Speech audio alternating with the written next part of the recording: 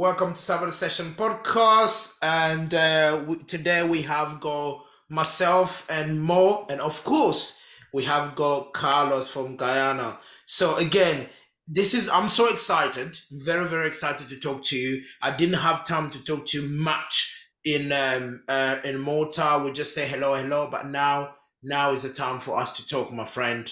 This is a Sheffield series episode we're doing. How are you doing, sir?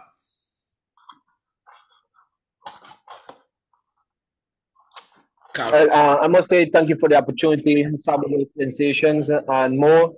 Again, you guys are great. Uh, such a very far distance. Uh, uh, the the heat is on for Sheffield. Uh, I was uh, looking forward for that invitation since, since last year after I competed in the Commonwealth powerlifting, where which I punched my ticket for the Worlds 2023. I was looking forward for Sheffield uh, terribly. Sad that uh, it, did not fulfill. But uh, here I am, qualifying, having some decent numbers now. Uh, my bench press, uh, I know it's kind of big to have every. I must. I have over seventeen international coaches now. It's like, yo, Carlos, oh, um, you, do you need a help with your bench press? Do you need a help with your bench press? Do you need a help with your bench press? I was like, damn my bench press is growing, but you know, I wish I could hit those 200 numbers. Once I hit those 200 numbers with the numbers I have right now, trust me, it's a very, very big scenario on the 93 stage. As, as uh, the top five already see what I'm capable of, especially the top three, Mr. Gustav, Mr. Jonathan Cayco, and let's not forget Mr. Gavin Adin. That guy, damn, bro. But better you have to wind it down. I was once young. I'm not old, but trust me, I was once at that level. You get the hyped up, you get in all those stuff. But one thing I'll always say to every single athlete, you have your own grind, you have your own, uh, what we could say, adrenaline and stuff. When it comes to being you, you be you, bro. But when it comes uh, so discipline and attitude is one thing that lies in humbleness. Humbleness. A lot of people like, oh, Carlos, what do you expect from Sheffield? I don't expect nothing but the best. It's just another day in the gym. Just that. Here's what the gym is training, literally training. But for a championship, for me, is graduation day. You train and train and train to get it right. So when that day comes, is not to get it wrong. Amen. Amen there. Amen there. Amen there. I mean, again, it's like it's exciting. Myself and probably I can okay more, more can echo what I'm gonna say. We're all excited to see you guys going up against it at Sheffield. So again, Sheffield, I've I've been saying this for to a lot of people. It's not just a championship, it's a show. You know, it's a place where legends are born. It's a place where you build a legacy in terms of like whatever you do at Sheffield will remain forever. Do you know what I mean? And um, when where people like Gavin is going back to Sheffield is because of what he did last year, Sheffield. You know, so that things that performance is set there, that sets him apart of everybody else. I mean, my first question to you, Carlos, will be, of course, powerlifting. Guyana is not really a big powerlifting nation, right? So how was your experience leading to Malta this year? Because again, as I said, you're coming to a country like Malta to Europe, which is a long, long flight, and you're going up against arguably the best weight class in IPF in history, which is the 93. So, how did you prepare yourself coming to that? Yeah, uh, well, for and foremost, uh, my brother, I'll say this: it's not a, it wasn't an easy journey, and still is not an easy journey because, uh, again, powerlifting is still growing here in Guyana, and I must say this: even though I'm the big boy here, trust me, I'm just a big boy here or in the South American region.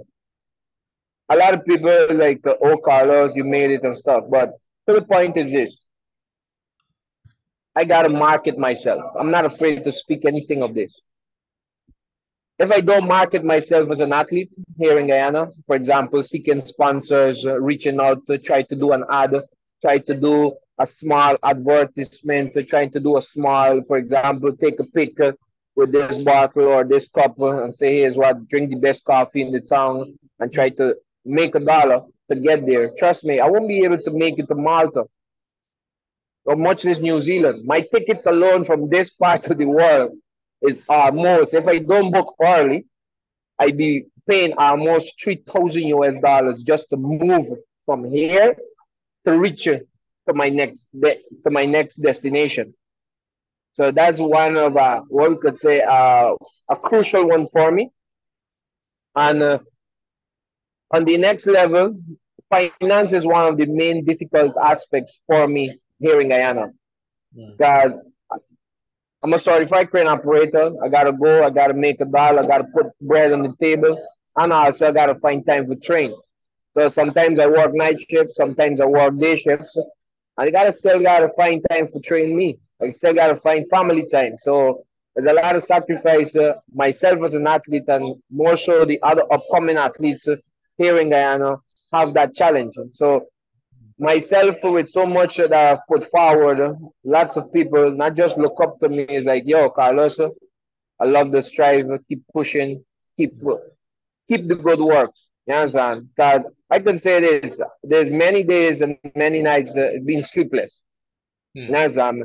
My hands are quite grown, torn from either wire rope, late nights, uh, gotta be rubbing my eyes, gotta be over overloaded with caffeine but I gotta keep pushing. So finance is one of the main constraints for me to reach any part of the world.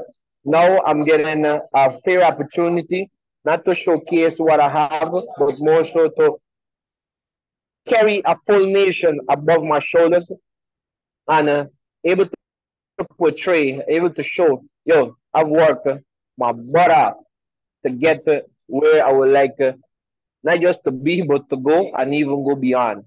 Worlds was the what we could say the cementing for me to show the world exactly. Yo, I have a lot more. Yes, my bench is kind of whacked, but uh, trust me, if I had to put 35 kilos on that 170, hey, it's a big impact, buddy. A big impact.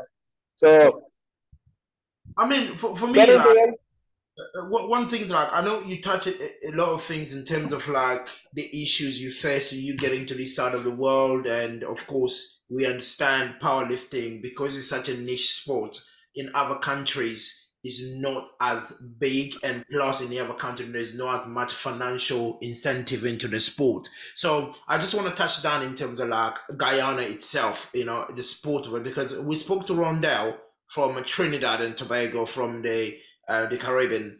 Uh, Rondell was talking about things like in Trinidad, if you make it to the world stage, you perform well, you win, you go back. You actually consider that as a proper athlete, and you get the support for these big company in terms of like the sponsorship. So how's Guyana, Guyana then on your side? Because as you said, you are the only, you are the the, the poster boy in Guyana. So do you benefit from uh, you being the poster boy against everybody else, or is it just like any other nation where they don't care about poverty?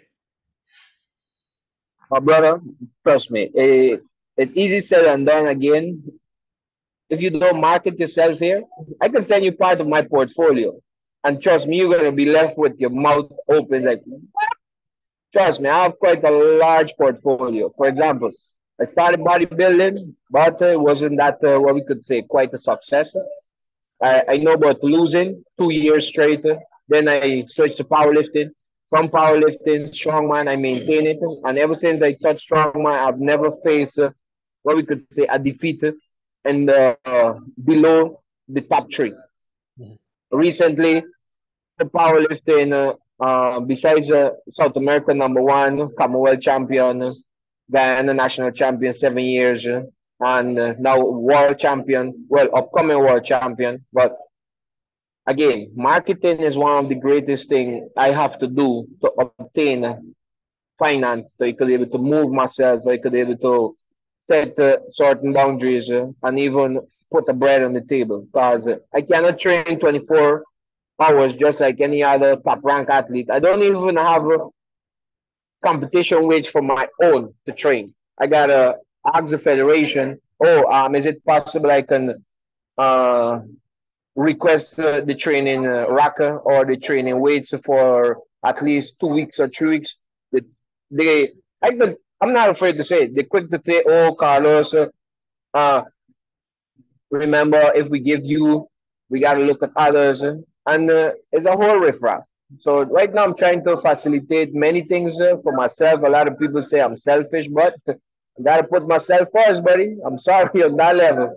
So I get the opportunity with quite a few friends from the US now. It's like, yo, Carlos, here's what. We're gonna help you to come over. We have some top-notch gyms here. I'm quite uh, abreast with uh, quite a few of them. It's like, uh, yo, once you get to hit those numbers, we good, bro. We're gonna support you. So that's how I'm able to move around, get some stuff done, and able to train. Here in Guyana, I'm currently at one of my one of the gyms I train at. I'm downstairs at the restaurant because it's quite cozy, quite uh, more relaxing, and it's uh, comfortable. I mean, again, right? That's that's the key. When you say comfortable, you don't just get a comfortability elsewhere because elsewhere, although things can be the way they are, but things can be difficult. But if you're comfortable and you have got a support network around you, it makes things a little bit easy in terms of like training, you know what I mean? Pushing yourself, especially. Um, I mean, my next question to you is you are in Guyana, and of course, you don't have uh, potentially, you don't have um, world class 93s, right, in Guyana that you can measure yourself against. So, how do you maintain yourself? In terms of saying, okay, I keep on, I need to still keep on pushing, even though I don't have competition. How do you do that? Because some people, for instance, some nations, they, they don't even have it in nationals. So it means I don't need to push.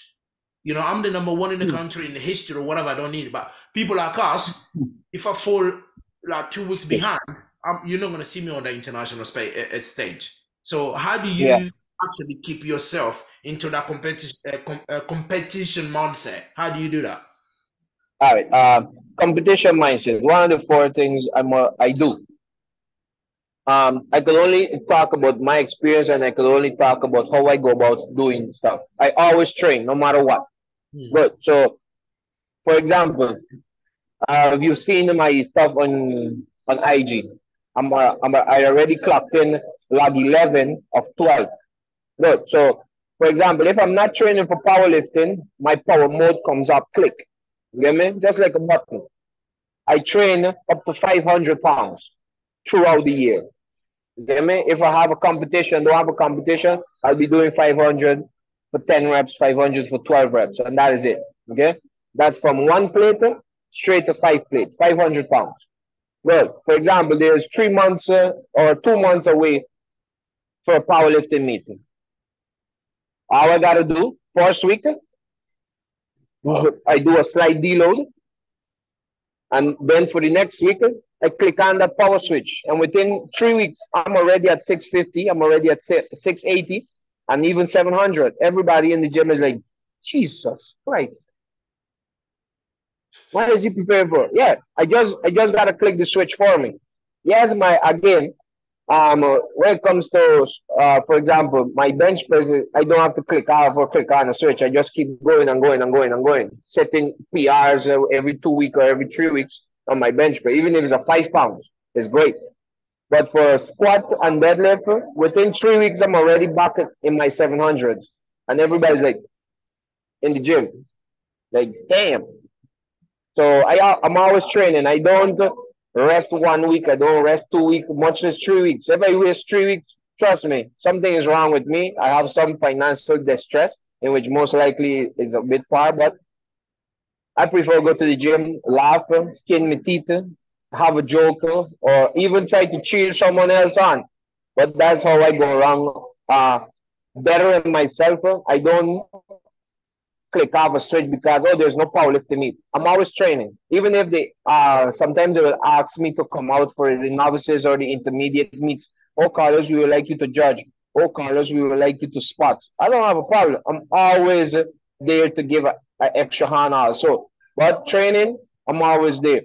For example, how do I keep abreast with the other competitors, which is let's say the top 10 ranking athletes? look, all their numbers I have in my own fight. So I know exactly where I stand. I know exactly where I lay. So I was like, I got this. Quite a few people here in Guyana told me, oh, Carlos, you're going to war just to compete. I was like, wow, really? So some people was gambling against me. They lost. And some people were like, yo, when Carlos means business, he means business. So I told quite a few of them, even in the gym. Yeah. Yeah. I had a quick question. So you've said that you give back to the federation. You go and help out for novice competitions. You go and help out in certain things, right? Do you get any? So in terms of traveling for competition, do you get any support from the federation to go to this international competitions like Malta, Commonwealth, and whatnot? My federation, I sad to say this, they do the nominations they do the preliminary, all the fancy paperwork they do. You get me? Good. Yeah. Uh, sometimes I seek and request sponsorship letters in which, since I'm an international athlete now, I get the international um, roster, for example, official invitation for almost any world meet now. Prior to that, now the federation gets it too. The federation will nominate whosoever have reached that status and so forth, in which you have a national team already, in which, yes, I'm the top dog, everybody looks up to Carlos. But prior to that, now, we we are the athletes uh, now. Now they're putting certain things in place to minimize the stress for athletes to go out there and seek sponsorship, literally beg for money to get certain places. So the federation plays a key aspect because if the federation does not put in nomination or does not does not send in nomination or nominate athlete, we won't be able to go nowhere. So when but, a federation nominates an athlete, sorry, Jerens, when a, when a federation nominates an athlete, does that enable you to get sponsorship to go for this international competition? That even though you still have to put yourself out there to companies, there's once you're nominated, you have access to funds for comp- to compete, to travel, 50, pay your 50. tickets and whatnot. 50-50. Okay. So, so in terms, I mean, in terms of like, I know the federation. Um, um, I know some nations, the federation do a bit more in terms of helping the athlete. I'm talking about like um, um, flying your flight or your accommodation or some help. Do you actually do you guys get it from your federation or is it just like your name is there, get yourself to that competition, compete, they don't give a shit? I won't say to that extent. The previous years, uh, we could say yes, but uh, for the past two to three years, uh, I can say no to that because uh, now we have a new president, and uh, now the federation is pushing more. They're marketing themselves more. They're marketing the sport more. Uh, now we have, uh, besides myself, uh, you have about two other world, war class athletes that they're uh, juniors. One is a sub junior, one is a junior. You have Romeo Hunter, and then you have uh, next guy from Trinidad. Well, he's a Guyanese. Uh, Dominic Terrell. He performed very well in Romania, both of them, but uh, uh, sad to say, Romeo uh, bow out on the bench press. But I know, I know Dominic Tyrell actually. Yeah, I actually yeah. know Dominic Tyrell. He's I, a junior. Yeah. Funny enough, talking about Dominic, I talk, I speak to Dominic pretty much on a daily basis. We are in a group chat. Yeah. This group chat. I think there's a there's a meme of him deadlifting actually where he's doing his setup. Yeah, he has got so. Nah, he, he have a crazy setup, but with yeah, that, yo, when Dominic hits Guyana and and we are on the stage, right? we have the, the, the hyper intense because uh, there are some guys out of the zones, right? Right here in Guyana, it's like, yo, Dominic gonna beat Carlos. Nah, I'm not gonna beat the boy. nah, that's fine, man. So Dominic is amazing. Yeah. I mean, I, I, I, he's, he's such an amazing guy, and he has got tremendous deadlift. He has got a bright future. One of the things about it because he has a good head. Do you know what I mean? Because there's some people you meet, they have got these expectations that they can't meet. But almost like he's now moving to the A3. That's what I'm talking now. He's moving to the A3 now. He, he was just yeah. He had a good meet. So yeah, talent is coming out of uh, uh, Guyana. Guyana. From yourself, Dominic, and the other guy that you spoke about, is there any other athlete that you're thinking they're coming up? Uh, they have quite a few athletes there. However, again, you have mentioned it yourself. It's not quite a financial benefit support, um, beneficial, what we could say, sport. In ours, uh, it, a lot of athletes expect. I can say this. I am not in the game for we could say for money on the long term. Okay. Yes, we're gonna get money, we're gonna perform and so forth. But there's a lot of athletes here in Guyana, for example. I can point out three marvelous athletes. One, you have Romario Gonzalez. He was a marvelous junior, and now he's an open. He's uh, he he had controlled the the 59 and the 63. I believe the 69 also for the juniors. Now he's in the open against uh, the next uh, upcoming, well, he was Commonwealth champion also, Mr. Vijay Rahim. Rahim is, uh, he was, uh, Rahim controlled roughly about uh, three weight classes. You have the, he was in the 59, he stepped up to the 69, and now he's in 74. And trust me, even though he's in the 74, he still carries a steam. But again, these fellows, if they do not see any financial attachments to it, because you're just performing and performing, what you get, what you getting? Sorry to say, you just getting a medal and a pat on your shoulder and say, keep up the good work. My brother, I've, I've come through the, the, the rough and tough, and I can tell you, if you don't market yourself, you're not getting it, bro. And that's why those two athletes, they just say, well, wind it down slowly and just remove themselves uh, slowly. You will see Raheem putting up some some decent numbers up to now as a competitor, but for the past uh, two to three years, he haven't competed.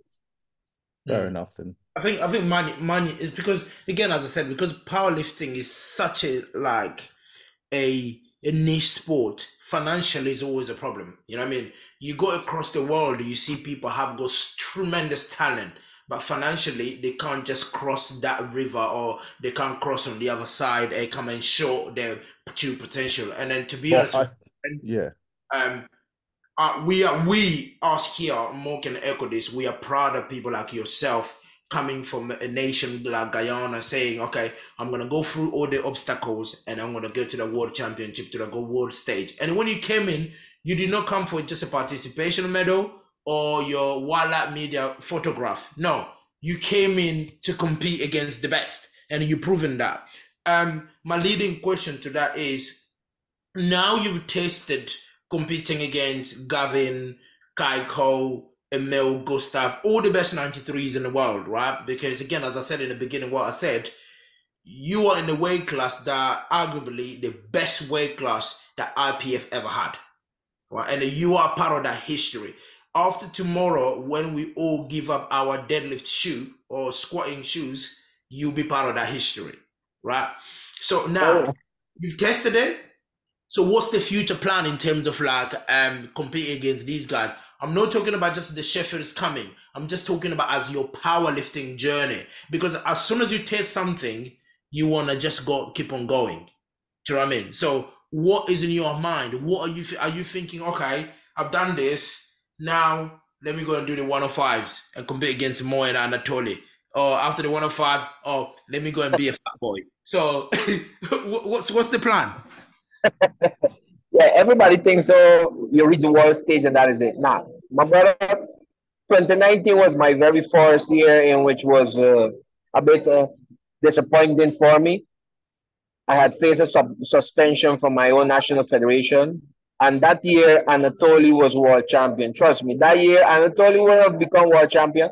I would have become world champion. God, I already had 350 kilo for deadlift. My bench press was whacked, yes, but my numbers were a challenge Anatoly for that world title. And I even though even up to now I have a picture with Anatoly because I traveled to Sweden. I, almost cried. I was like, damn, I should be on that freaking stage. And I went out, I took a picture with uh, Gustav. Was Gustav? No, Anatoly. I believe the next guy from Sweden and uh, LS McLean. Mm-hmm. LS McLean, uh, I believe that year he got fourth or fifth. He, he, he, he didn't perform well. And that same year is when uh, Optimus Prime, well, this guy, Ray Williams, he bow out on the squat. I was like, damn. So I, I, I, I've been behind certain um, stuff for powerlifting quite a few. So again, to your question, I'm not gonna bounce and go to 105 just like that. I have to keep improving. I have to better myself in many aspects, such as my bench press again. And yes, competing among the best of the best uh, within the 93 is not a walk in the park yet because these guys are training the butt off to be the best. I'm training to become one among them. Mm-hmm. Sheffields have given me the opportunity to now I can solidly say I'm one of the best. But now everyone now is training to become one of the greatest. To become one of the greatest, it comes with lots of discipline, lots of time, sacrifice. But above all of that, patience, passion, and perseverance. Without those three, trust me, the cookie gonna crumble. And besides the cookie crumbling now, there's a lot of days you're gonna say doesn't make sense anymore. Oh, I'm gonna just go over to the next weight class. So it implies a lot. It implies a lot. Mm-hmm. And I'm not, uh, as you say, uh, just gonna put down as like, all right, I reach here. All right, what's next? All right, what's next for me is become world champion, hold that title at least for one, two, three times, and then maybe sign off with the IPF or maybe continue with SBD and see what the world extra has to offer. But other than that, I'm not just putting it off because I want to put off and say I'm going to want to fight. I competed one to fight here in Guyana, still won the national title twice, and trust me, but one of five uh, uh, IPF worlds is not a walk in the park. I will place among the top 10, but not the top five. You guys are huge. no? My brother? I'm glad you're honest there, my friend. Salute oh, to the oh, one and five, bro. I gotta be squatting 730 and 750 for reps. I'm not that yet. But so I'm, I'm doing 700 for at least four reps. Now that you've mentioned squats, Carlos, right? It's very hard to track your training on social media because you don't say the weight. All we see is log 12 day 30 or log 2 day, and it's it's not calibrated plates, right? So a very preemptive question. I know you you've said in your we, everyone watch I was very excited after watching your SBD video. You said the pie has been baked, you won your slice, right? What yes, I won my slice. Yeah. So what slice do you want? Because you just mentioned very quickly you're squatting 700 for four reps, right? What records right. are you chasing? Let's keep it, let's keep that to yourself, right? what re- what records are you planning to get at? What are your goals for Sheffield? What what what records are you planning to break at Sheffield? Well, every I must say, uh, to reiterate that everyone is looking to break records. I'm looking to break a record within myself, carry, push it. But the competition is on. I see Gavin is putting up some decent numbers, but the numbers that he's been putting up, it's quite a challenge, not for me, but for himself, because I've seen him for the past couple of years, and he he's been getting column depth. Uh, I don't know if he's listening, if he's tuning in or so, but uh, there's a lot of a lot of techniques I've shown in my training before I started. Uh, uh, what we could say training for Sheffield is uh, depth concentration, also known as quad concentration.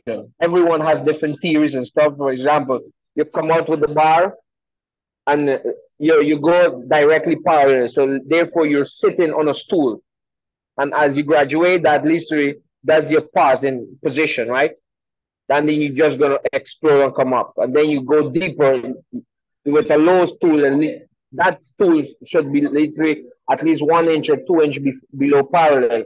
And trust me, I'm an open book. I, I tell people exactly what I do and so forth. I don't have anything to hide.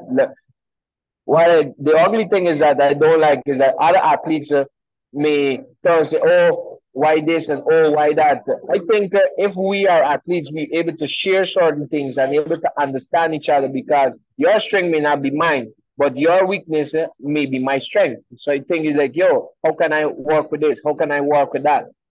You understand? So yes, I'm looking forward to squat a new world record and also challenge the deadlift.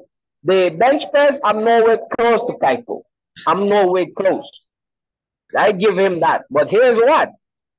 That doesn't mean that he's gonna remain world champion forever. Because the game is SBD.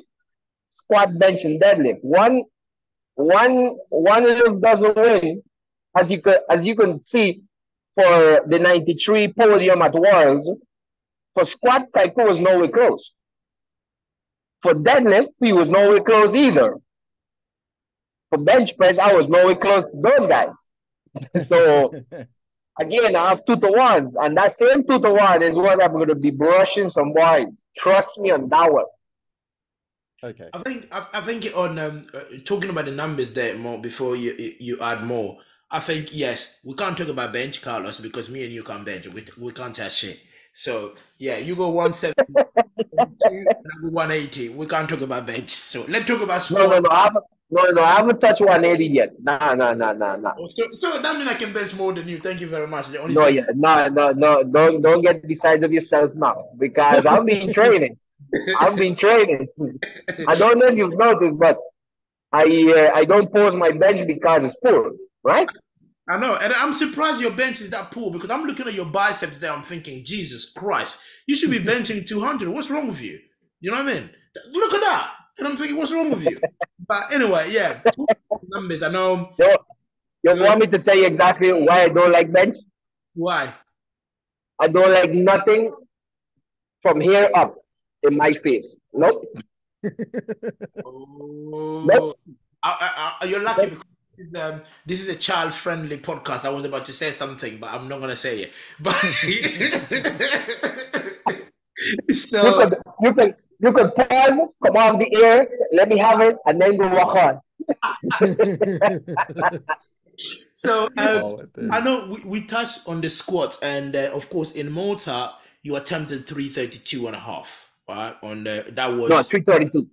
330 sorry 332 so that was the world record there you attempted so um i think we had gavin here and he oh again he's an open book gavin is one of the guys as well like um, as much as like um, he has got the arrogance behind him, the arrogance is not about on the bad side, is on the confident side. Do you know what I mean? That's why it comes across like that. But he he has the confidence to become the world best, which is I agree. If you want to do this sport, you want to a competitor, there's a reason why you're doing it. To him, he wants to become the best. It doesn't mean how or how he's going to do it. He just want to be the best. So he mentioned something about. He said to us, he want to take the world record on a second. So that means whether chip it or smash it is on the second here. We're talking about 332 kilo on the second attempt. And yourself, you mentioned you're taking the world record squat. What number we talking here? Because if Gavin is taking on the second, my friend, then you're in trouble. I'm in trouble. You sure about that? I mean, Are you sure about that? this is a safe you let place. us know, sir. You let us know. What what we You what let have you us got know, sir. cooking? This is a safe place. Go on. My brother, if you inbox me directly on WhatsApp, I can send you a video. Again, I'm very, very optimistic. Yeah, man. I know, Gavin, as I said, and I will say it again, and even I'm on this podcast, to the 93s, especially to those above me. Gentlemen, please bring your A game. I have a lot of room to improve, but that doesn't mean I don't know what's up. The same way you guys are training, I'm training too. So again, if you bite it, make sure you bite enough that uh, you could contend with. But if you do not bite enough that you can contend with, therefore, literally, your bite s- you bite the big, you bite the apple, and it's sour. Therefore, you fail, and you're going to bite again. You don't like it. Please relax, be humble, and come again let the next guy, the same apple that you threw away, he could be able to satisfy himself. So just like how he's planning, I'm planning too, buddy. I'm planning too. This is interesting. I'm excited. More going. I'm so excited. So I was, I was, I was just, Definitely to be tomorrow, mate. Swear I was so I had two questions, right? So before we get into the squats, I want to clarify this with you, um, Carlos. In Commonwealths, did you do raw competition where you scored to 305 and then you competed in equipped where you scored to 340? Or was that on the same day, or was that two like you scored you, you did one on a Friday, one on a Saturday? What happened in that competition? Excuse. Uh yeah. Uh it had expected, right? Because my minor, when I saw the Commonwealth uh, records, I had all of them except for the bench press. I had squat, dead, and total. And uh, the roster had changed. It was raw first, and then equipped, and then it switched. I was like, damn. So the Thursday was fully equipped. I So you- got the, the records. Uh, You squatted the 340 guys who- equipped first, and then Yeah, you squatted well, raw that- after. Yes. Yeah. So if I, I, a lot of people said this, oh, Carlos blew his back out. No, I did not blew my back out. It's just that I was sore. However, I had to maintain my body weight because when I pull heavy numbers, I tend to climb my body weight. So how did I maintain my body weight after pulling two big numbers that day? One, I had to uh, fast. I had to fast for at least 18 hours. I did not eat anything. And that is what taxed me for for the raw. That was a Saturday. So I was sore and then I was a bit low on energy. But after I win uh, for raw, I was like, yo, I got this. Even though I had it, I my normal numbers for for squat is three or five for classic. So uh, some friends back home as I call us, take it down a notch. I was like, I'm not taking shit down. The guys from UK, um, Paul Marsh, uh, Darrell, and few guys from the powerlifting, um, England powerlifting team, um, they have helped me out successfully. I got the gold in the squat and the gold in deadlift, and also the gold in the final stage, which was very. I had to fight for that one because Canada was up on my back. I was like, yo, fail, fail, fail, fail. But I had to pull through. But now I have a coach. His name is Mr. Excuse me, Mr. Dexter Jones.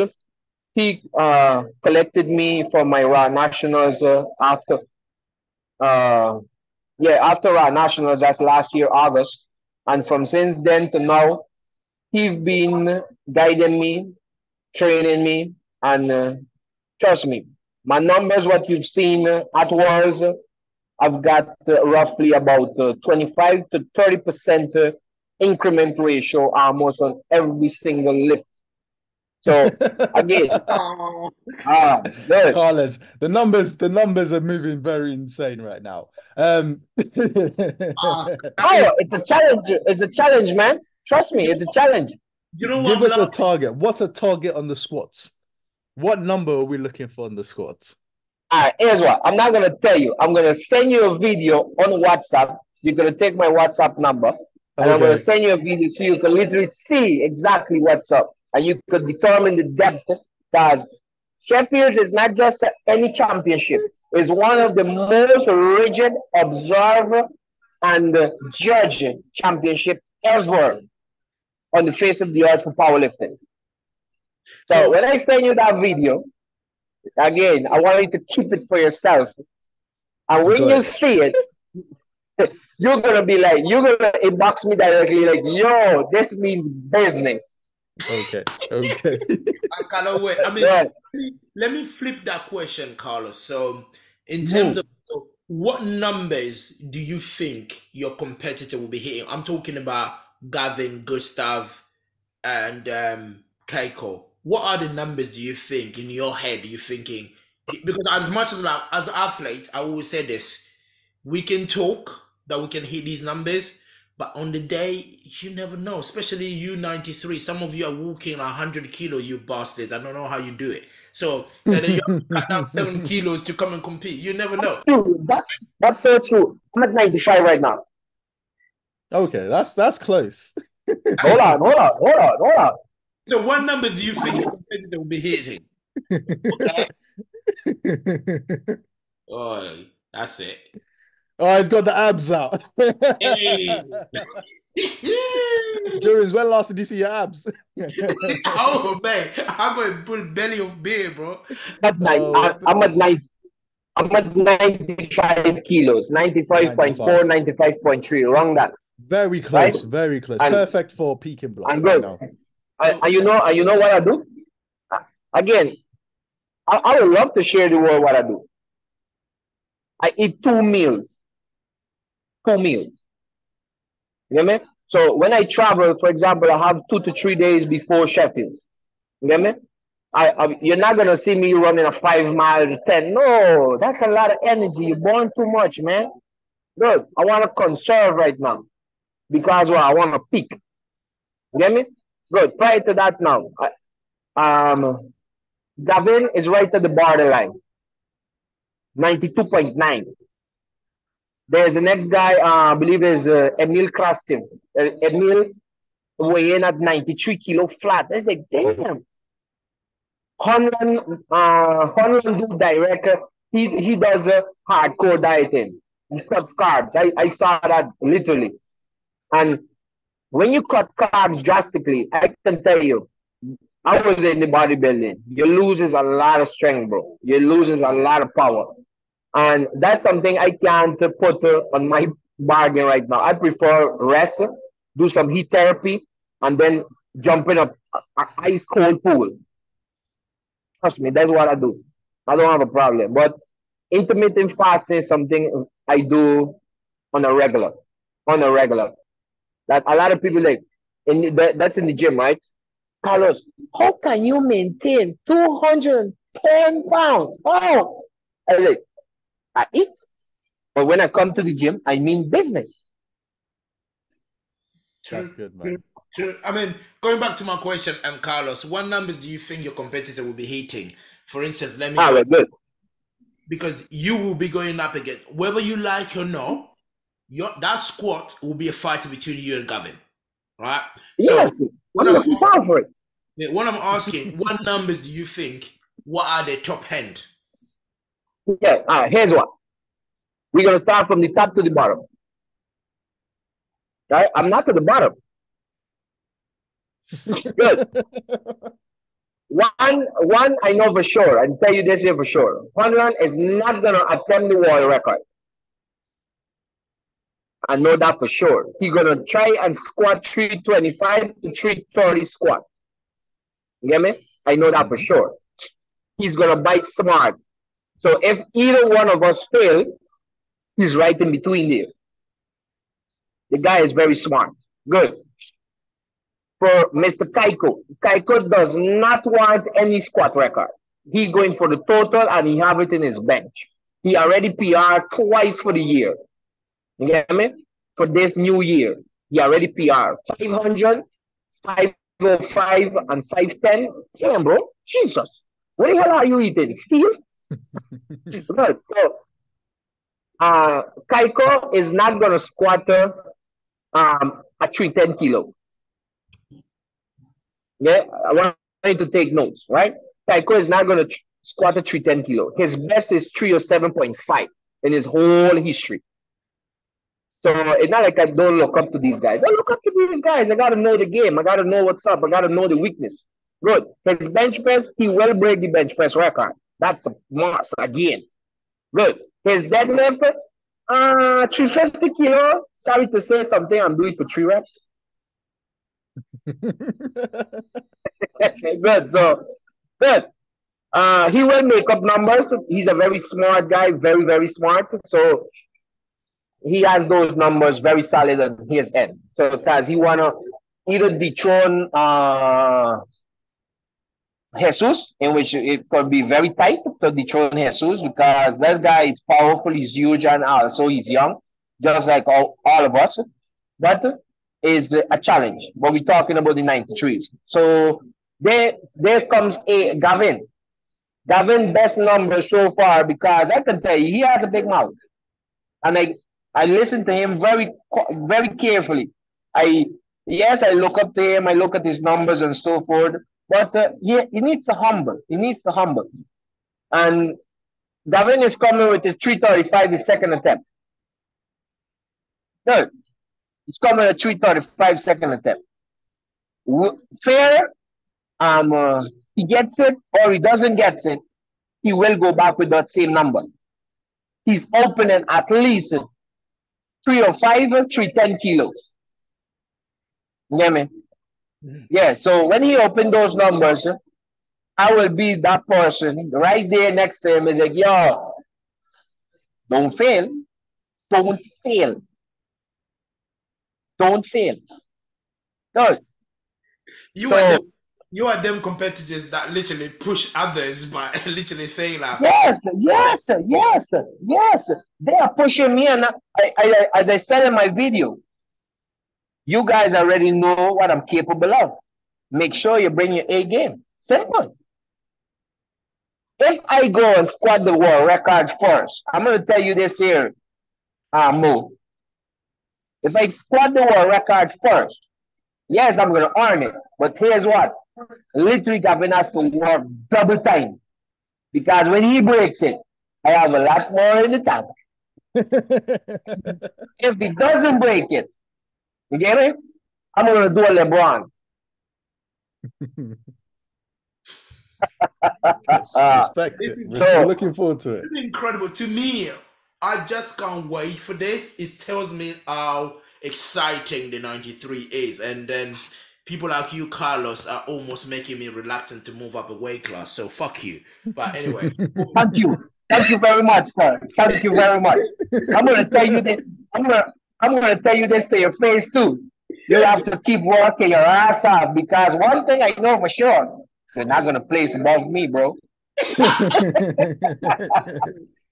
so um so I have go um uh, one more question on uh, on uh, in terms of like the records here. I know you spoke about the bench uh, or the the squat world record. You're gonna be breaking it, and again, you're not far off that deadlift world record. To be fair, you know what I mean? Is what three seventy three point five, and also if you if you're tripling three fifty, yeah, I'm not I'm not triple three fifty, and I deadlift three eighty plus. Yeah. Ah, so, no, come on, buddy. You're not. You're pulling my leg now. Don't try to put. Nah, I, I don't believe that.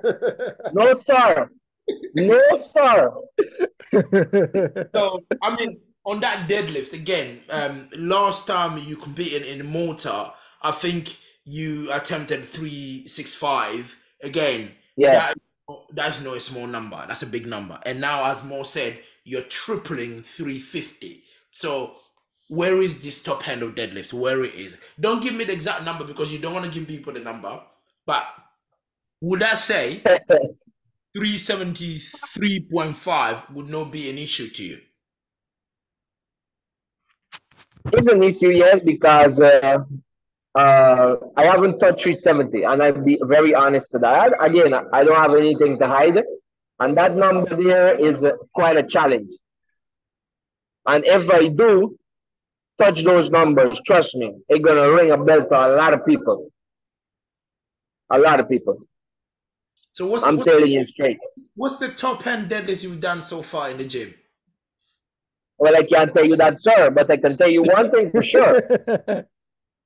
Prior to my 350 for three, okay, there's I was quite surprised, quite bargain. And they're gonna create havoc because the 93s that I'm looking at, the only person, the only person that can chip me on that is Sasha. I gotta give him that. Uh, trust me. 365 kilos, I had it. You get me? But my sciatica got tight, real tight. My IT band, sorry. Yeah. My IT band got real tight that day. I was like, damn. A little bit more, I would have pulled more of the muscle. But that, that tight and just call it jar. 365 is moving smooth. Mm-hmm. Smooth. I can you- even send you a video on that too. basically, basically, what you saying? You've done 365 in the gym already. Yes, sir. I've done it before too. I've done it before once. Incredible, incredible. So in terms of like, of course, the total world record, um, Carlos, it stands the same. 888. Yeah, the same literally passcode I put for this meeting was 888 kilo. That is the total world record. Is it something you're looking at breaking, or is it something you're looking? Okay, it's a bit too far, but let me get at least close to it. Because again, just to refresh your memory to people that are listening to us, Carlos um best 93 total at world. I'm not talking about the IP uh, the Commonwealth. At the IPF uh, this year in Malta was 847.5. Right? So Yes, sir. to get to 888 is a big ask. Is it a number? I think I think if you minus I think if you uh let's say so to close in that gap is 42.5 kilos. Mhm. Right? Yep. I know you have a calculator right there, right? Emo? I'm actually doing my maths. Yeah, definitely. Yes. So I don't have to change my numbers in squat. I have that. Yeah. I don't have to change my numbers in deadlift. I have that. I just have to improve them, right? Mhm. What is the the the least okay that I have to get on my bench press? You you do addition to that. Okay. Say no more. say no more. Say no more. Ah, Say no more. Say no more. uh, again, since, since you don't want to say no more, I'm gonna, I'm gonna break it down to you. Right? My best bench with a struggle was 172.5, right? Mhm. Good. What if I bench press at least 195 kilos? Is that what you're looking for in Sheffield? Uh, what if I bench press 195 Or you said what? What if? So, so Oh, with with Yes, sir. With 332, 172.5, and 365, let's say 375, actually, that's why I gave you. That gives you 880, right? So if we're talking about 185 bench, right, we're already looking at 195. 195. 195. That's Yes, why. 195. Bro, the question is the question is not what it gives you. The question is what will you be pulling for that final deadlift to win Sheffield? So that's what Everyone is in my- smart. Everyone is smart. So what I did in my head, if you be, if you bench 195, It's 900, this boys. 900 plus. and a deadlift, we're talking about 902 here. Yeah. Well, 330, 332, 195, and 365 gives you No, no, no, no, no, no. no. Not 332, my brother. Not 332. Okay. Remember, okay. I said if Gavin, if Gavin chips the bar, at, Yeah, well, not really chipping, well, it's chips, and he put 335. yeah, Get me? But if I squat first, you're gonna give him the disadvantage because you have to work harder to get yeah, that. because of lot numbers. Yeah. Good. Good, lot numbers. So besides lot numbers, body weight. Get me? hmm Good. If I go first, I'm gonna give him the option to give me what I need. If he breaks it again, I'm gonna break it and I'm gonna give him work to do. For so we're looking at 335 there. You know what I mean? Okay. So 335, 195, and then we have 365, 370, or 375. You guys do the math. 900, 900, 905. 900. Bro, let me ask you. 905, 905, yes, Let 95 you. I know, I know you said this is a safe place, by the way. You said you're an open book. This is a safe place. It's not going to go anywhere. Bro, what drugs are you on? five. I'm not not on any serious. drug. Bro, I'm not on any drug. You want me to hear? You want me to give you the drugs I'm on? I'm gonna tell you one. please. I have liver oil, fish oil, marmite, molasses, coffee. Besides that, I use Creactor. Hold on, hold on. There's a lot of people say, "Oh, Carl, it's got to be in drugs." I use Creactor. Okay. I use Mastec, and also I use Isoflex. But all these supplements I cannot use one time. You know hear me? Look, this is my energy. I think I think Carlos, after this podcast, you should send us some coffee from the Guyana, please. I need that coffee. You like me? Because I need that coffee, Carlos. I'm sorry, I need it. Because I just did My it. brother. We're talking about we're talking about 57.5 kilo on top of what you've done in Malta, right? Mhm. Yes, sir. Yes, sir. Which I'm- tracks to which tracks to his statement when he said 20 to 30 percent on everything. So Mo, I'm said sorry, it. bro. I, I'm not being sarcastic. I'm a competitor. yes, sir. I mean, that's I'm not. I'm not. I'm. I'm not here. Yo, if you guys uh, saw Strongman, right? Yeah.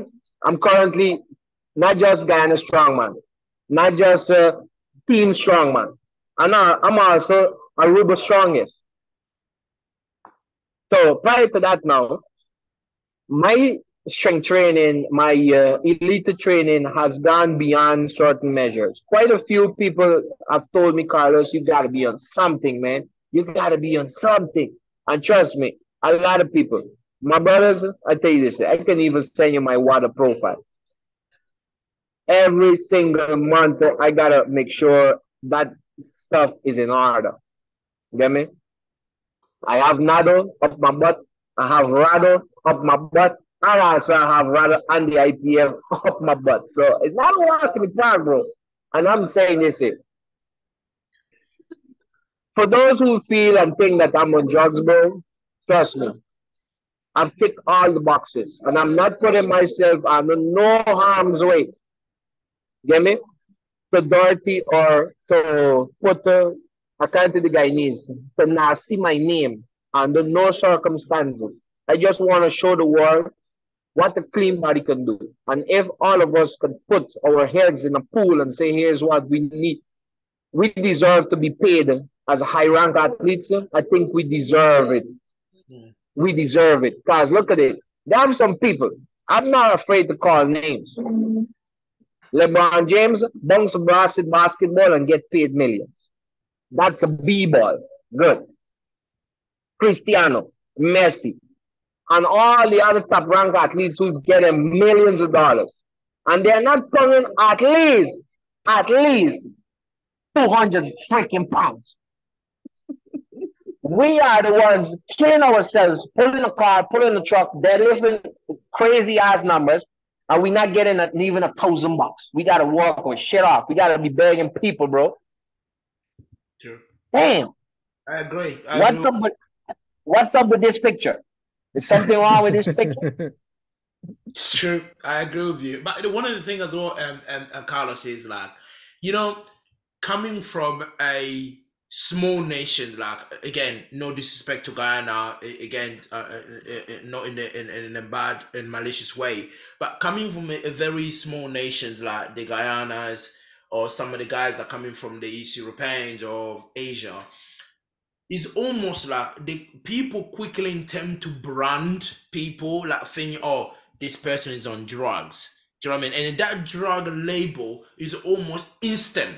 It's not even about they don't give people like yourself or people like uh, Rondell or the rest the benefit of that, thinking these guys have worked really, really hard to get to themselves where they are. As you mentioned in the beginning, you have to spend like uh, like what um hundreds of thousands of pounds uh, for you to get to an international.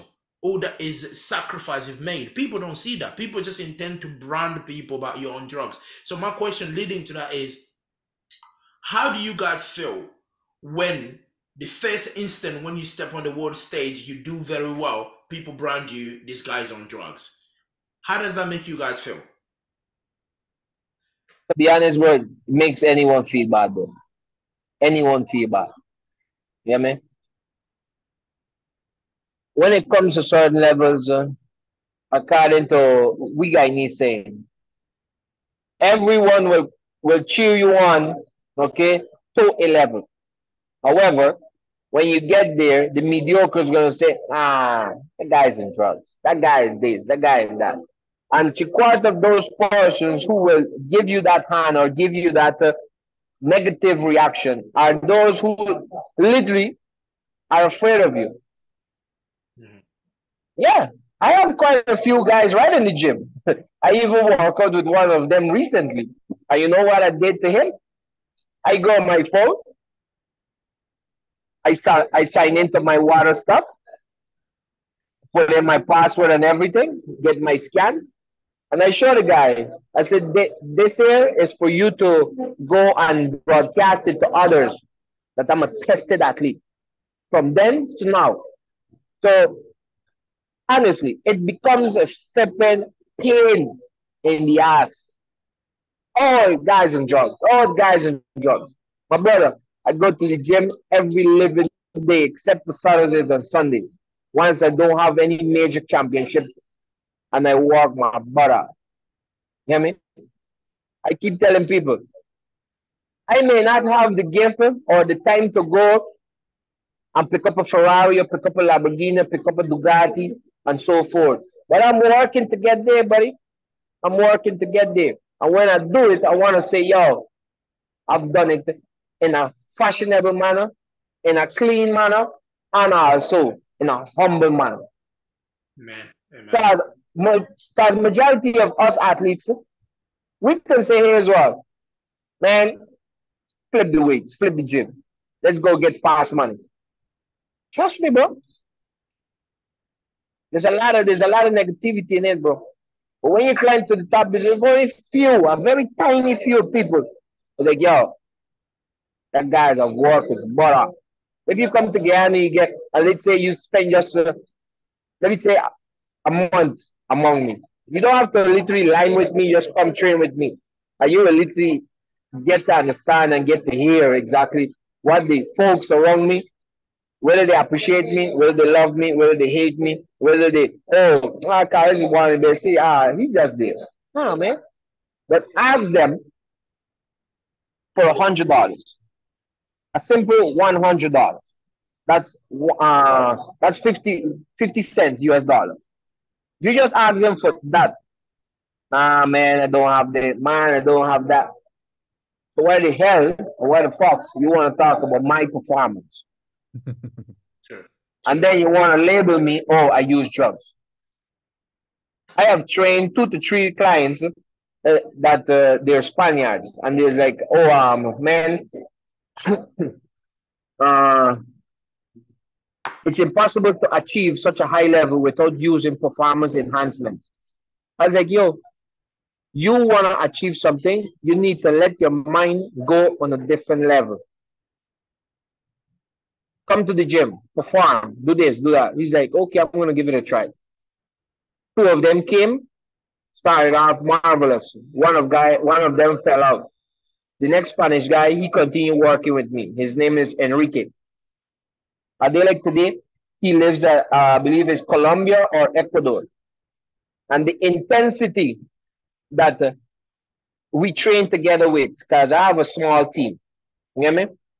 He carries that same intensity now that every now and again on his Instagram, he will uh, inbox me and stuff. He's like, damn, Carlos, everybody, everyone thinks I'm on drugs. I said, welcome to the club.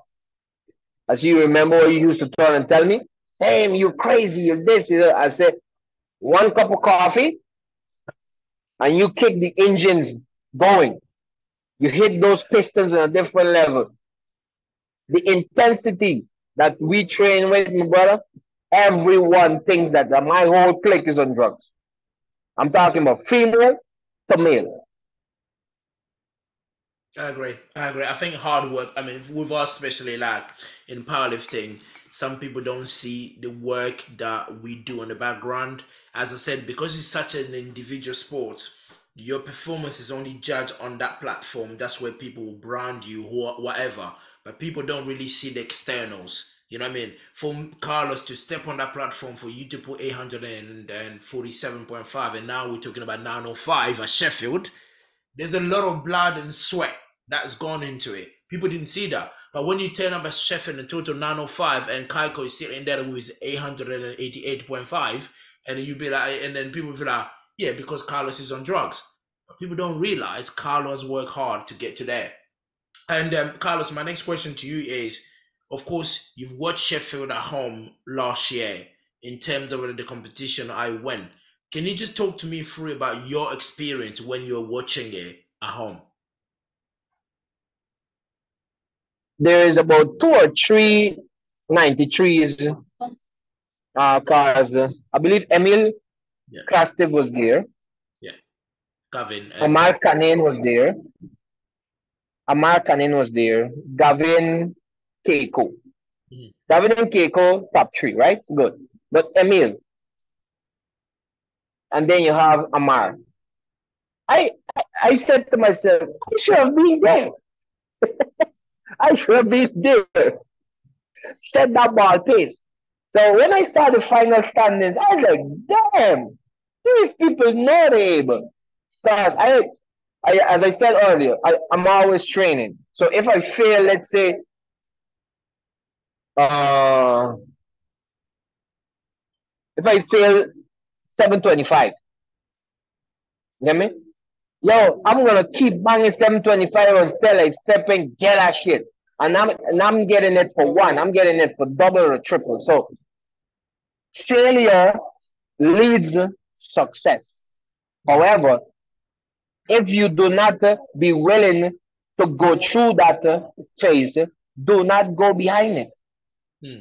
Because there are some things, there are some people when they fail, they say, ah, I already tried that multiple times and never get it. You gotta keep going, bro. You gotta keep going. If you plant mangoes or you plant coconut today, how long from now you gonna get the first mango or the first coconut? It's either first two years or the first three years. Mhm. So you gotta you, you gotta keep watering that plant, bro. A lot of people don't have that patience. Uh, a lot of people don't have that perseverance. So trust me, it takes a lot. I agree. I agree. So would would would you say because you mentioned there the 493 that was at Sheffield last year, and you said to yourself, for fuck's sake, these two embarrass me. I should have been there. That's probably that's what you're you're thinking, right? No, and not literally two, three. Oh, three that embarrass you, no two. Okay, which can you can you can you drop names? Wh- What are the three that embarrassed you? All right, the two below the line that did not place. Okay, that's a what? Emil and uh, of course Amal. Yeah, And of course, you want to say Gavin was was an embarrassment to you as well. Okay. Ah, come on, man, you gotta be more humble than that. okay. Okay. Okay. So is that here's what I got to say. Here's what I got to say. I was once there. You know me? I was super overconfident. I know I'm the best of the best. And this here happens to me at a strong man. You know me? Yeah. Best of the best. Top shape. That was uh uh 2019. No, 2018, sorry everyone, everyone here in Guyana. Oh, Carlos got it, man. Carlos got it. If you see me, I have the hype, I have the crowd, I have everything, man. So that's what I'm saying. I've been there, I know what's up. And you know what I got? I got second. I got second. Everyone like, oh, Carlos, you're fake. No, if it's not your turn, it's not your turn, buddy. You gotta wind it down. Overconfidence is great, it's good. But too overconfident, you understand me? You end up crushing your own self. so? You know Who, I mean? so who was overconfident here? I want to know who was overconfident. I just Gavin was overconfident, man, big time. And then after Sheffield, right? He was on a podcast. Odr, odr, odr. I say, this guy for real? Prep for world championship. You get me? So right now, Gavin is above me by just few kilos. Just few. Few kilos. if, He are, got we, fifth. are we gonna call it a few because 400, 847 kilo and Gavin total 880 at Sheffield. That's a lot of No, kilo. no, no. I'm talking the worlds. Worlds. We're not talking Sheffield. Worlds. Oh, okay, okay, okay. Yeah, that's a few kilos. You're right. Yeah, that's a few kilos. Good. worlds. Worlds. Look at this performance, right? Yes. Good. Yeah, that's a few. Kilos. no, just a few kilos. However, imagine if I've gotten that squat record. where would Gavin have landed? Okay. My man went back. Yeah, true. Okay, good. Good. After Sheffield's, right? This is what I see with a lot of lifters, especially Gavin. Again, I've been there. That you need to simmer, you need to reconsider yourself, yo, am I ready for this? Why is it I'm not getting it? Why is it this and why is it not? For example, it may not be me this year. It may not be Jonathan. It may not be Gavin. Let's say someone comes from the bottom of the ladder in the 93s and then boom, everyone gets kicked off. Just like the year with Mitchell Chance. Everyone is like, whoa. You understand? So we gotta be very patient in exactly how we work and how we say things. I felt the fire at Worlds. Everyone is like, yo, Gavin this, Gavin that. Yeah, Gavin, Gavin. I was like, no, no, your performer, your performance is there, but your your ego, bro, you gotta wind it down a bit, bro. You gotta wind down. Too overconfident is beyond measures. So that means so listening to himself a bit more. So are you saying himself a bit more? So are you saying to me now you are going to Sheffield, you are not too overconfident? No, no, I'm not confident. For me, I say this. It's another championship, another great day in the gym. However, you're training different people. Makes sense. You hear me? So would would the 905 is not too overconfident? Is he just a number you're thinking? I feel like Jones, you're just stretching. You're I feel like we've lost Carlos, unfortunately. Yeah. Jones was just stretching and stretching, trying to get a specific thing. Um, I mean, Carlos can join fairly quickly. Honest, I'm excited, right? Um, again, um, yeah, I think as Mo said, that we just lost Carlos. Could be probably a, a Guyana internet connection. So again, um, Guyana is a long, um, a long, a long place in terms of where we are. But yeah, to those of us listening to us, is like it's great to have these 93 talking this shit, and also great to see them pushing each other because that's what's gonna make powerlifting the best sport where the the, the want to be to. Because at the moment, like we have got Gavin, we have got Carlos here, we have got Cayco, and we have got um Gustav. So these guys at Sheffield, although they will be going up against each other, but they will be there to represent their weight class. And whatever these guys do outside Sheffield, they will represent powerlifting in general. Do you know what I mean? To me, I'm more excited about that. Um, Carlos, um, have you joined us? Are you back? Yes, yeah, I'm right here, my brother. I'm hearing you loud and clear. That's fine. That's fine. That's cool. So cool. Yeah, as I was saying, like, of course, Sheffield is coming. Last year, you were Sheffield on uh, online, and you spoke about um, the performance of seven individuals that you saw. Some of them you were happy with. Some of them you were you were a little bit um, disappointed. But my question to you would be: Is what is this? Oh, he's gone again. Um. So yeah, um, as I was saying, Carlos, my question to you would be: Is what is that performance that you saw at Sheffield across women or men that wowed you? The one that you saw the performance, you were like, "Fuck, that is incredible." What is that one performance that actually made you go wow? Apart from the ninety three that disappointed you anyway. Uh, one of the main performers was uh, for the females. The females, uh, those ladies, uh, damn, bro. Almost every single female uh, hit some decent numbers for themselves.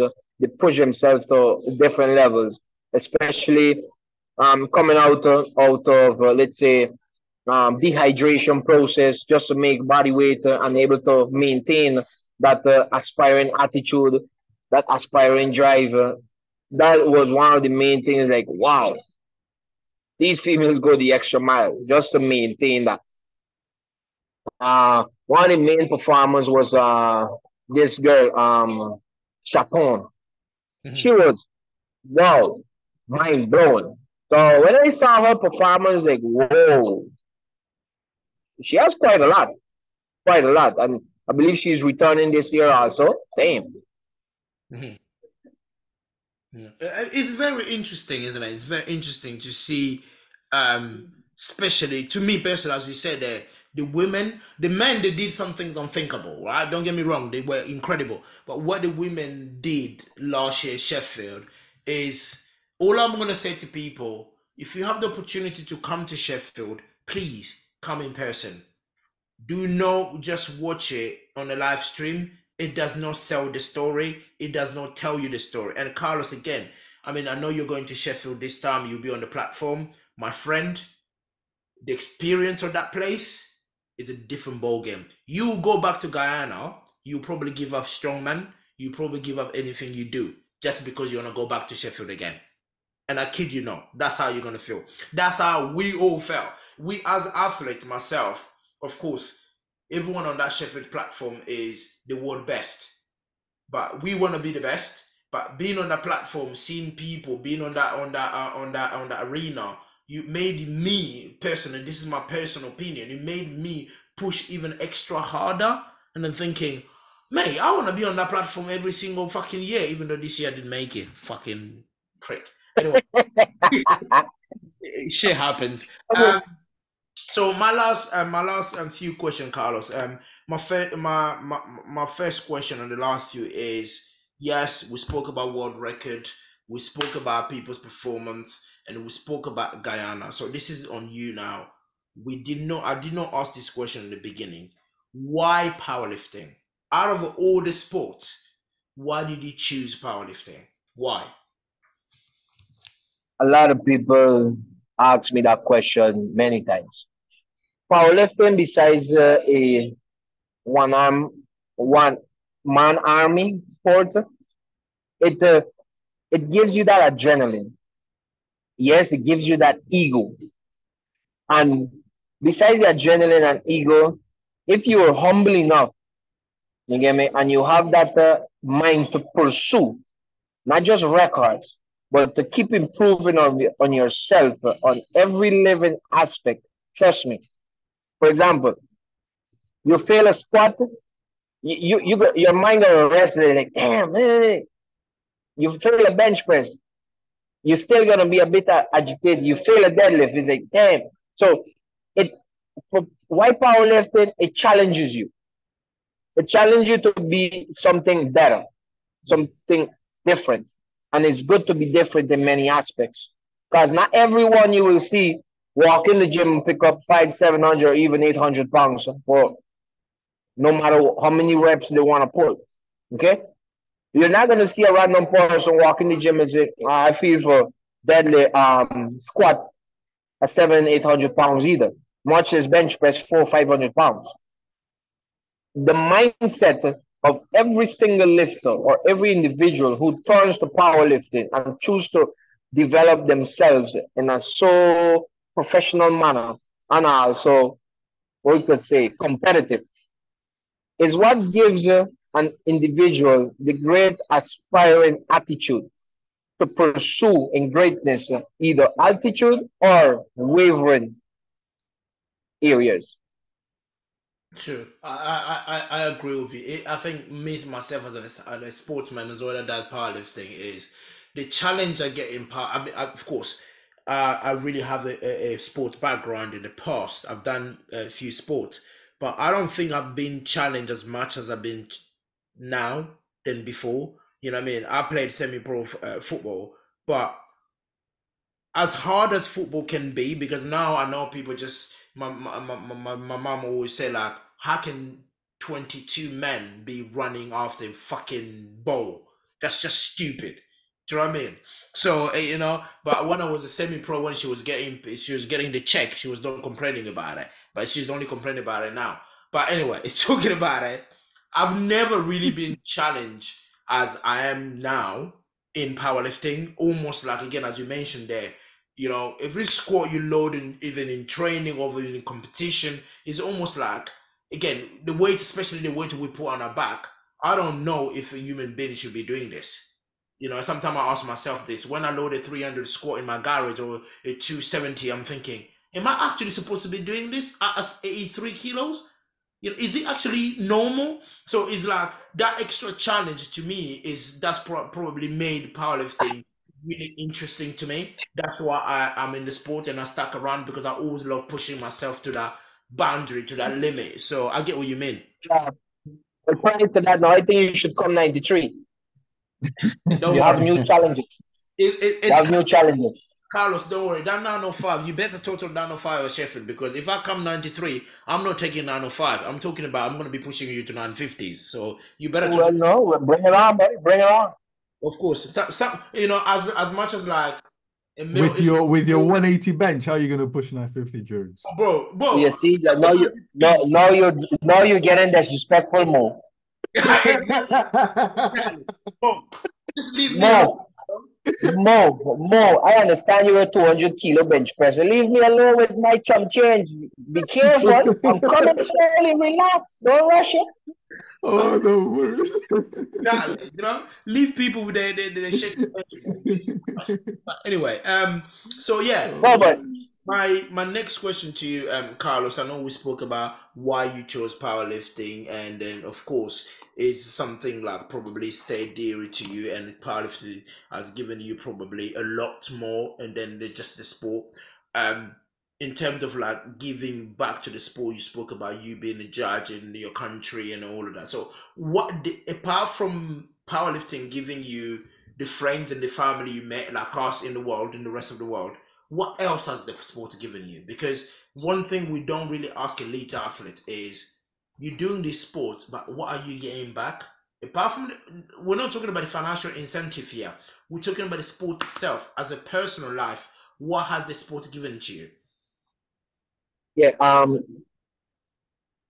money, as as I mentioned earlier, is not uh, my main forte. So forth. Uh, when I come to gym, I mean? I see a lot of people doing craziness, and I tell people, if you want to train, do it like if you're an athlete, because I, this is what I tell any one of my clients. Imagine me walking out with five, six, seven hundred pounds on my back, and the slightest mistake, okay, the slightest cue and error, I go down, I may not come back, or I go down, and that shit, gone on a different level. Take it from the very first step you go to the bar. Could be one plate, could be two plate, could be three, different. So you could be doing a shoulder press, you could be doing a leg press, you could be doing uh cable crossovers, you could do machine and stuff. Treat it as it is. Not too pushy, not too pacey, but moderate. Understand the muscle, understand the movement. Okay? So powerlifting has taught me that to give more patience and more accurate attention to not just myself, but to other people who surround you. Because literally you're gonna walk in the gym and literally you're gonna stop doing what you're doing and go correct someone. This is what I do. And I know for sure you have done so many times. And literally it grinds you nuts. It's like, what the hell this guy is doing? Yeah. So powerlifting has given me the opportunity to influence others.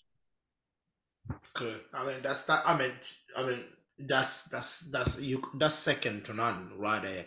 You know, being able to influence people because sometimes it's like, I mean, there's a motto my old man always used to used to tell me is, sometimes when you're trying to be an influence into something, don't look at the mass, thinking you want to change everybody. No, even if you can Right. out of the a thousand people, if you can change one person, that's good Mhm. enough. Do you know what I mean? And then what you mentioned, Yes. influencing people. If you can be able to influence the nation, you can be able to influence even people around you, your family, to get into something positive. Nothing beat that, my friend. Nothing beat that. Um. So my last question is, of course, you're coming to Sheffield, and potentially, if I'm, uh, it's wrong me to say, probably you have never been in the UK before, have you? No, my first time. Cool. First time to the UK, my friend. are you looking to The weather is terrible, by the way, just to let you know. It's terrible weather. It's cold, it's rainy. Hopefully you have some fun, but it it's not the best of moments right now. Do you- uh, I'll be since since I can't uh, what was made to understand, Mo is not living far away from the from the venue, so I will be linking with Mo. Um, you as uh, the main aspect. Well, not my chaperone, but if I could able to extend my stay, I'll be Okay. putting you in charge. So it's like, hey, we're gonna go to the club. Hey, we need to check this out. Or don't forget food, food, food. No problem. Remember, Mo, Carlos does not lack anything from here top. Tonight. Remember that. Carlos, My brother. Carlos. Oh, days. Aye. Okay, last few questions, my friend, before we close up. My, lo- my I, I had a question for you, Carlos. Right, we've heard the story. We've heard we we can be looking anywhere from 880 to 900. You know, you're gonna be there. You're you're not there just to be there. You're not there to place ninth and below or fifth and below. You're there to go there and take your pie, if possible, and take All a let, slice. uh, listen this here carefully. Hold on, take a pic. Yeah. As I mentioned to many of my Guyanese, um, or we could say countrymen and so forth, how do you feel about Sheffield and so forth? It's like, here's what. I know I'm not uh, close by in many aspects for these, uh, for the top fives. Yes, they're gonna outbench me. Some might out squat me, and few might out dead me. But here's what: I will podium. I will place among the top five best among the world. And after that, now a lot of people gonna do deloading. A lot of people gonna do carb intake and all kind of stuff. But here's what: I'm gonna continue with that same pace because that's just the cream for the cream, eh? You get me? I'm gonna be the sparklers at the Worlds because there's when the big bar is gonna set in a different stage. I'm not in a, I, by the way, I'm not in B group anymore. True, true, true, true, true, true. All right, I'm not in B group anymore. I know for sure I'm not this last person for bench press either. No, no, not last. The first person to bench press. I know that for sure. So again, may the best man win. Okay. My my honestly, my message, my question to you was going to be what message did you have for your competitors coming to Sheffield?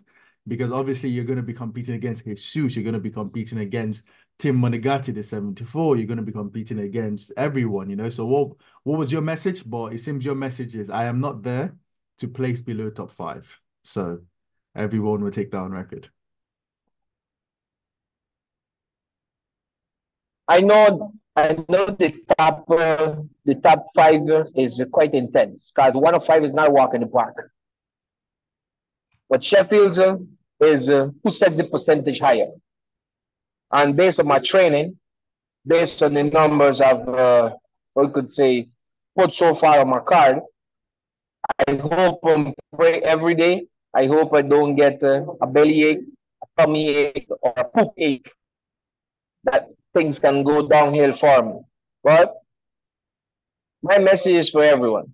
Everyone has the opportunity to perform. And I'll say, as I said before, the pie is already being baked. I'm just looking for my piece. So for those who think that I'm coming just because I'm a mediocre, I don't look down. But I do looking down to the 74 and the 83. Because those guys, damn, bro. What the hell you guys are eating?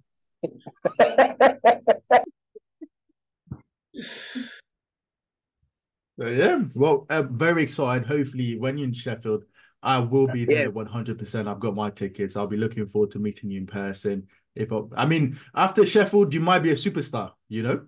So after Sheffield, you might be a superstar. It might be hard to reach you, Carlos, but hopefully, if you perform very Carlos well- might not even say hello to us because he's such a superstar after Sheffield. after Sheffield, yeah, he'll be king of lifts. He'll be everywhere. He'll be on Nah, ESN. nah, but nah, nah. hopefully, you come back to Alright. Sabado and have a podcast with us on your performance. Let, no, no, no. Again, family, okay, is paramount. However, brothers in iron, you get me? It's beyond paramount, bro. If we're able to set something on a different path, therefore, I shouldn't be here. And if money sets it on a different level, therefore, I'm not.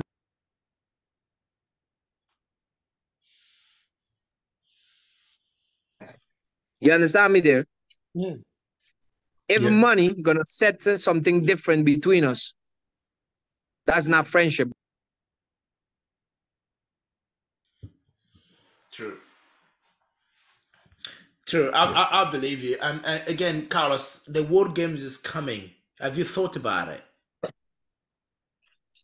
Yes, but I don't know where's the position with the World Games. Uh, Be three Uh, award. uh, Be podium award. Come third award, you're qualified automatically. no, that's for Worlds. No, I'm saying I'm saying for the World Games. If you come third at World next year, you qualify automatically for the World Games. There's also alternative routes because there's there's routes such as um regions get wildcards. So it's not also podium in awards, especially for South America. Being in a good, I think you need to be, I can't remember what percentage of the world record it is, but you get an automatic wildcard for each region. The highest GL, by the way, for each region gets an automatic wildcard. So wildcard. Carlos is in a position where the World Games is 50% for you right now as we're talking, for you to get to the World Games. Well, uh, with my performance so far, I believe I've already earned that wild card because I dethroned Brazil by 12 and a half kilos. Yeah, so And, I think Carlos has got uh, his, he's got his World Games card lined up In already. the World the Games. Carlos, when you go to the World Games, can you say hello to me and Mo? Yes, why not? Sure. Because we, we, we, we will struggle to get to the World Games. What are you chatting, bro? Why are you chatting nonsense, Jones? He's, No, the- no, no, it's- no, no. Jones is he's sleepy. He's not. He's not all there now. So let's just leave him alone. Interesting. My brother, brothers, brothers, listen to this carefully. Uh, I don't know who's gonna send me the invitation or so, but uh, Brazil have been to the World Games quite a few times. You get me? As a top rank athlete, and that's David Coimbra. And I've dethroned David Coimbra. So looking forward this year to for the World Games. Damn, bro, that would be very great. I want to know what the cash prize looks like since we are talking about money now. Probably no cash prize. I don't think for World Games you get cash prize, but it will be like a mini Olympics, which will be so in terms of like for your federation. So performing well at Worlds, performing at a level as high as World Games, even here in the UK, I think it will be something that will get recognized. So for your country like um Guyana, if you perform at World Games, in fact, just getting to World Games and having your flag there, you know, it'll be on live TV. You can walk with a flag. They'll have the whole ceremony and everything. I think it would be amazing, man, for your federation, for you, and for the community you have back there. The profile, your Yes, pro- man. your profile as always will be will be uh will just grow. Amazing. Um, Yeah. You so- you can go to all the all the you can go to your John Doe company and tell them hello. This Exactly. is World Games. Ah, I'm a World Game TV. now. Give me some money. Yo, I'm already a world rank athlete, bro. I just want to become one of the greatest now. yes, sir. As I, as I mentioned before, God's grace are able to earn that world title. Earning it is not the, the what we could say the, the baking pie. Okay. You know what is make it merry the merrier? Mhm. Is retaining it. Retaining it, yes, sir. Once once you retain it, okay, one time, two time, everybody's like, yo, this guy is the real deal. There's when you get the your tap on your shoulders and it's like, yo, you've done it. He have done it.